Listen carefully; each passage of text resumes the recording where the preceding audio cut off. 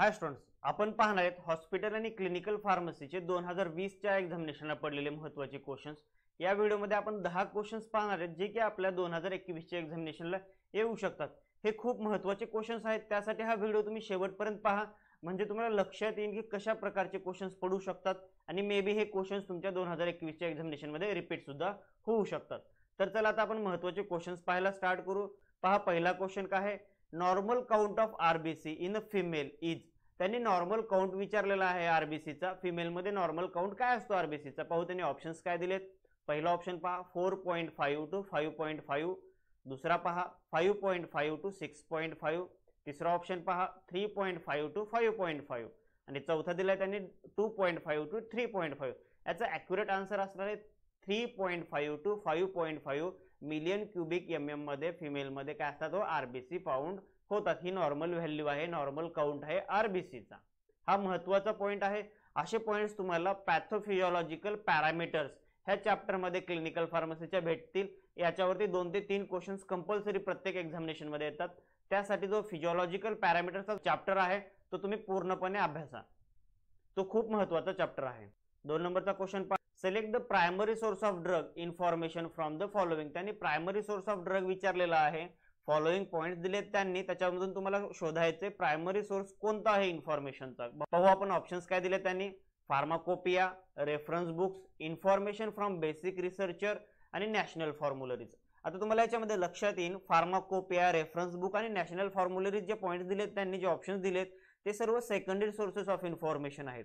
Primary sources of information काय असते पाहू आपण. प्रायमरी सोर्सेस ऑफ इन्फॉर्मेशन असे इन्फॉर्मेशन असते जी की रिसर्च ओरिएंटेड असते. रिसर्चपासून जमा केलेली असते. ती कुठेही जास्त प्रमाणात पब्लिशड फॉर्ममध्ये अवेलेबल नसते. जसं की pharmacopoeia reference book national formulae जे आहेत हे सेकंडरी सोर्सेस ऑफ इन्फॉर्मेशन आहेत.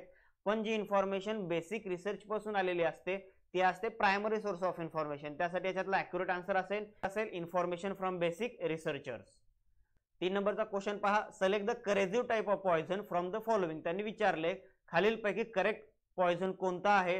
जो की करेझिव्ह टाईपचा आहे त्यांनी सिलेक्ट करण्यासाठी सांगितलंय. पाहू ascorbic acid nitric acid lead mercury आता लीड मर्क्युरी काय तुम्हाला माहीत आहे? हेवी मेटल्समध्ये येतात.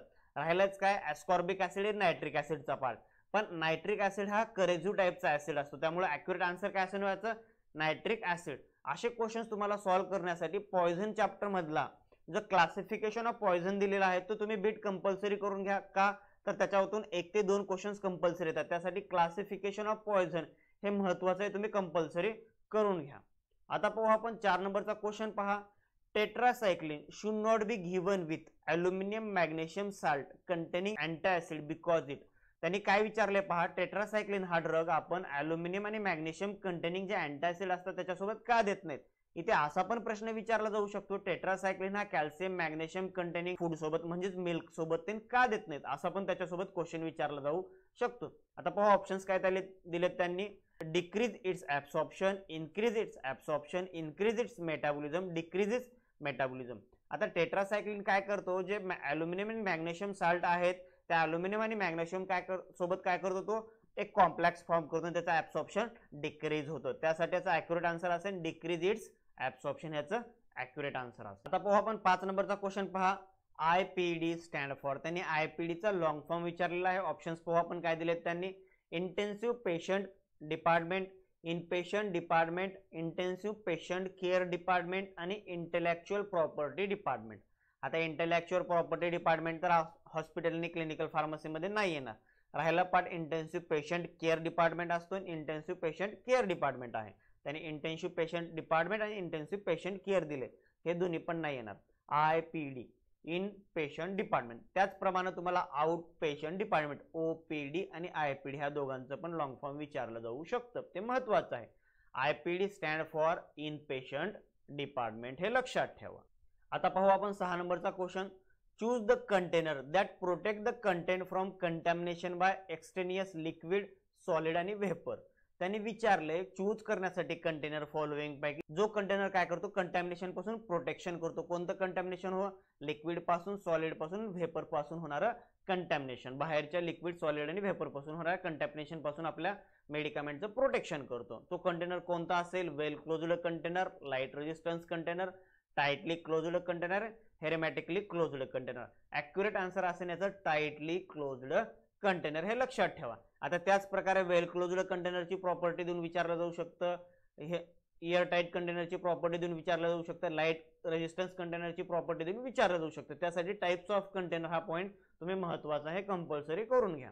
सात नंबरचा क्वेश्चन पहा. When the supply of oxygen can not meet the demand then it result in to त्यांनी विचारले जेव्हा ऑक्सिजनची डिमांड वाढते आणि ते मीट होऊ शकत नाही बॉडीला तेव्हा कोणता डिसेस होतो? मीन्स ऑक्सिजन डिमांड रिलेटेड कोणता डिसेस आहे? ऑक्सिजन सप्लाय रिलेटेड कोणता डिसेस आहे? पहा हायपरटेन्शन अरेथ्रोक्लोरोसिस अंजेना पेक्टोरिस आणि कंजेस्टिव्ह हर्ट फेल्युअर याचा ॲक्युरेट आन्सर आहे अंजेना पेक्टोरिसमध्ये ऑक्सिजन डिमांड इम्बॅलन्स होते.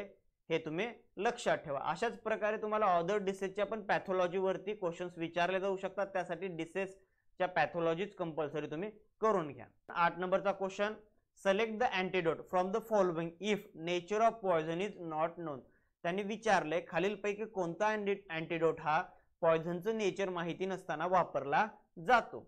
पाहू आपण ऑप्शन्स काय आहेत. Chemical antidote physiological antidote universal antidote आणि मेकॅनिकल अँटीडोट. आता याच्यामध्ये जो युनिव्हर्सल अँटीडोट आहे तो केव्हाही वापरला जातो? जेव्हा आपल्याला पॉयझन अननोन असतो पॉयझन कोणता हे माहिती नसतं. तेव्हा कोणता अँटीडोट वापरला जातो? युनिव्हर्सल अँटीडोट हा वापरला जातो. आता अशा प्रकारचे क्वेश्चन सॉल्व्ह करण्यासाठी तुम्हाला अँटीडोटचे टाइप्स आणि ते कधी वापरले जातात? Means types of antidote and their uses हे कंपल्सरी करणं आहे.